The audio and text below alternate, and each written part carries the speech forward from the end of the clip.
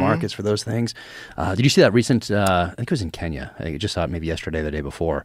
But uh, the villagers out there killed killed a, a lion, an old lion, and it made the news. But not so much in the way that some of the others have, because this lion uh, was eating some of their livestock, and they're like, oh, guess what? This is killing our livestock. That's how we survive. Yeah. So we're going to kill it. So they did. Um, and of course, you know, you know, and ask more questions about well, well, why and why is uh, why is there not hunting here? And if there was hunting, would that animal have had value? And then would there be incentive to keep those populations uh, at, a, at a certain level and apply the science to it and make sure? But there's none of that. They just kill it, and that's how it goes because these things are killing your livestock that you feed your family with. Uh, so it wasn't long for this earth. That happens with elephants with crops. Yeah. Oh, they destroy the a bunch of crops over Yeah, there. So what have they do? They kill them. No idea what a farm is.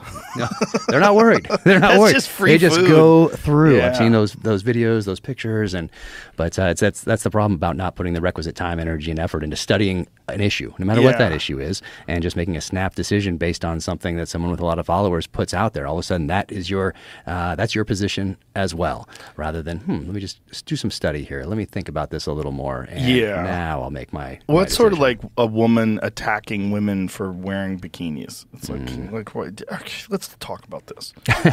Okay, You're ruining it for everyone. Something wrong with that. And also, the, there's the thing about wildlife conservation that's very uncomfortable. And what's uncomfortable is that it, it really bothers us that the only way animals really have value in terms of these uh, wild populations of antelope and gazelles and all these different things they hunt in Africa, the way they've made them thrive is by putting value on them to hunt them. And that bothers people a lot. It does. And I get it. Yeah. I, I get why it would. I mean, it would be nice if all these people that were animal conservationists spent as much money as hunters. yeah, but it doesn't But happen that way they way. don't. Nope.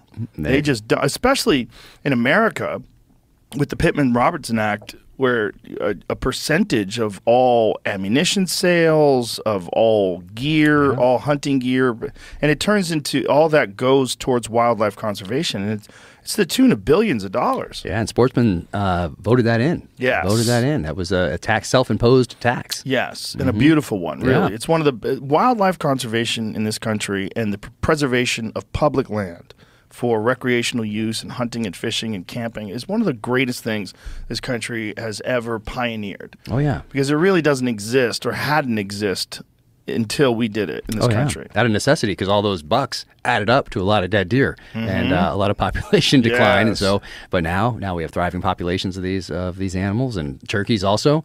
Uh, same thing. And now they're all over the place. We have about 200 essentially that go between a ridge by our house. They come through every day up to this other ridge and then work their way back. And I was heading up to see Steve Rinella in Montana lot, two weeks ago, and I took a video. He'd been out turkey hunting, didn't see anything, and I took about 200 uh, turkeys just standing there, like in the road as I'm leaving the house. And uh, yeah, right there. Yeah, but you're in Park Town City. turkeys. He's always blasting shotguns No. in Park City. no, no, they're, they're town turkeys. They're very safe. They're very comfortable hanging out in the backyard. But I thought they were going to die this winter because there was uh, last winter they were here the whole time because we had a very mild winter last year.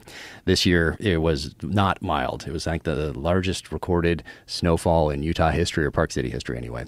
And so I, they, they disappeared, and I thought, oh, they're gone because it's the first time they've seen this kind of snow as well. But uh, they came back about three weeks ago. They came back in force, 200 of them, right back like they never left. But uh, they, did they migrate? I think they found a barn somewhere with some heat and some feed. I'm thinking. I don't know. I don't know, but it has to be because they. I don't know if they can just hunker down for all those months that we got all that snow. They I don't, don't fly very far. No, but they fly. That- Yeah. It's pretty cool to see them fly for the for the first Yeah. time when you're not uh, when you think that uh, maybe they don't, and then you see them go up to roost and Mm-hmm. it, it- or come down, and that's that's pretty cool. That's pretty cool. But Yeah, I've um. Uh, how far can they fly? I don't know. 100 yards question. or something? Maybe I don't know. That's all I've seen them fly is in and out of these trees, so not very far. But but who knows? Maybe they maybe they do. What a weird.